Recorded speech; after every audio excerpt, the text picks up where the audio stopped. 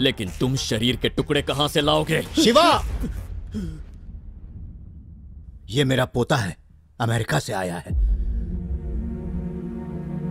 ये क्या है बॉस? इतने शरीफ दादाजी का इतना बदतमीज पोता।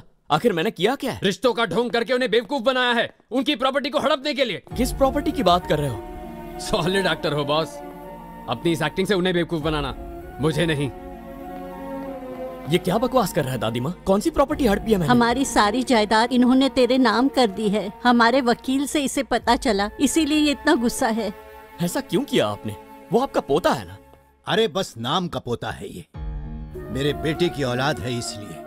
बस अपने नाम के आगे मेरा नाम लगाता है।